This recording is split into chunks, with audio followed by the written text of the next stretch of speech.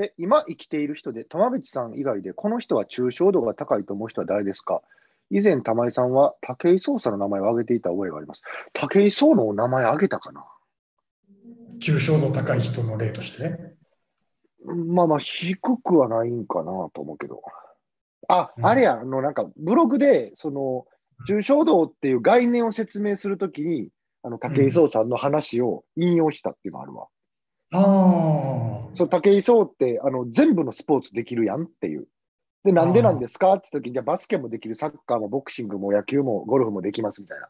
例えばさ。ってなった時に、あの人は一個一個のスポーツっていうゲシュタルトをマスターしに行こうじゃなくて、そもそもその、その、その一個中上高いところにある自分の体の動かし方っていうことっていうのをマスターすることによって、あらゆるそうスポーツっていうのができるようになりましたよみたいな話を多分したっていうことね。ああ、だから別にその、そういう意味で引用しただけで、抽象度が高い人っていう紹介ではなかった。うん。そうやな、トマベチ、トマベチ、ベッチ、ベッチ、ベッチは確かにね、なんか、あちょっと厳密に言うと、ベッチは、その、抽象度っていう言葉を作ったのはベッチで、ベッチーって呼んでんねや、トマベチ秀人のこと。えななんて言ったらいいかなと思って。あ、まあ、ベッチって言うのよね。みんな、そのトマベチ好きな人って。あ、そうなんや。あ、玉井が呼んでるわけじゃない。ちゃうちゃうちゃうちゃう、あ、そうか、そうなるな。また、トマ、玉井のオリジナルでトマベチさんか。ビッグネームかも。あ俺が勝手に作ったあだ名ね。ベベッキーみたいなベッキーみたいなね。うん。あの、トマベチさんは、だからその、もともと英語やったのね、と抽象度っていうのが。それを、うんあの、抽象度っていう日本語に訳した。うんのがで、広げたのがベッチー。そうそうそうそう。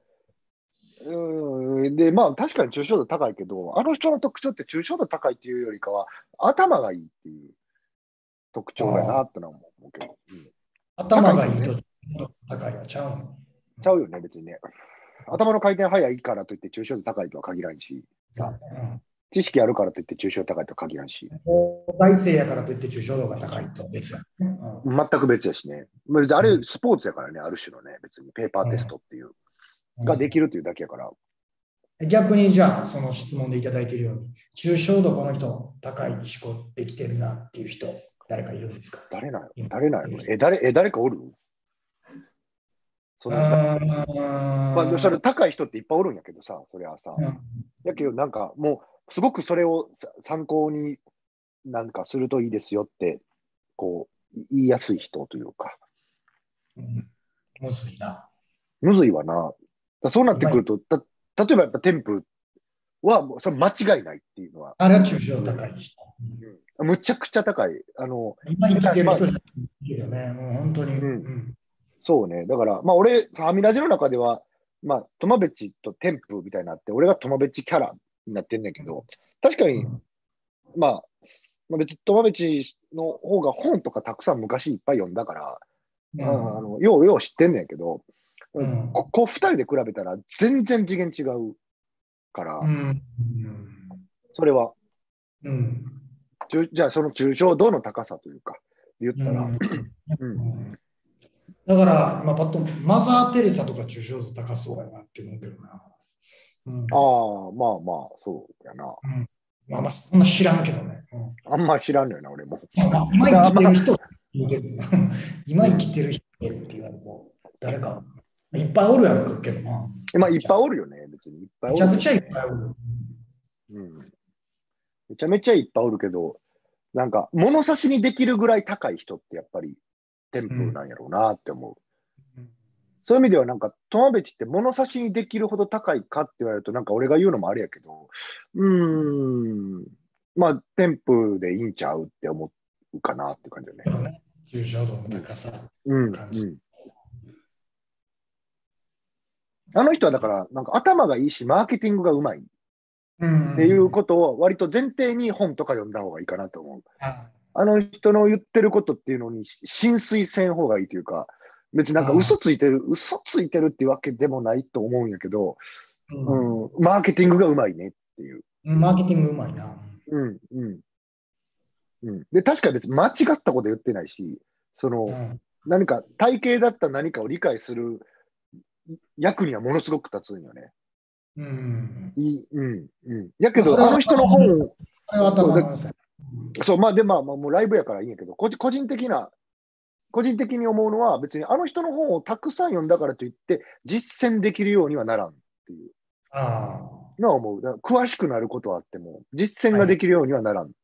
あ。あらはいはいだからなんか、実践している人が友別さんの本を読むのはいいと思うけど、うん。うん。っていう感じかな。おあそうや、そうや。あの、抽象度高い人思い出した。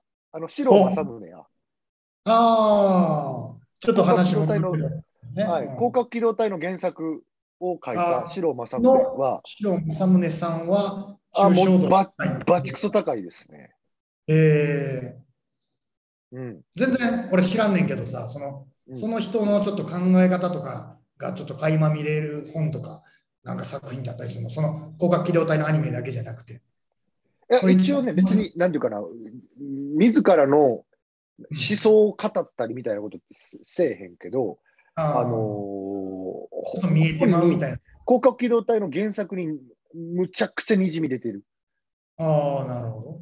2巻とか特にあの、アニメとか映画になってるのって1巻の世界観をもとに派生してって、いろんな人が監督、脚本とかして、まあ一応、まあ白間さんも入ってんねんけど、作られたものやないけど、2巻は、まあもうあの、なんていうか、アニメか映画かできん。あじゃあ、くらい抽抽象度高いというか、もう意味わからん世界行ってるんやけど、そことかものすごい出てる、それが。じゃあ、その広角機動隊2巻を読めと。そうですね、1巻、2巻、2冊とも何回も、それこそ中村天風ぐらい何回も読む本やなと思うえー動隊って。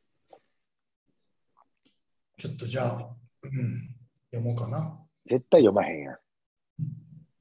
絶対読まへんもん。多分読まへん。うん、絶対読まへん。まあそうやな。ある可能性は。